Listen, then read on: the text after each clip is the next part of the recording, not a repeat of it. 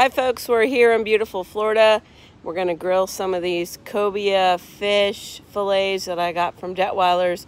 They're a local market here in Florida and um, we're gonna be doing it on the Weber Summit and it should be done in very short period of time and we're gonna make fish tacos and we have fresh guacamole again from Detwiler's and it's made fresh every morning and then we have, like I said, the Weber Summit, which is right over here.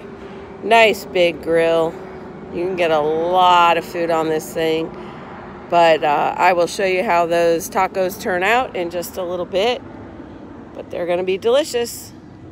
Please hit subscribe. Thank you. Girls Can Grill.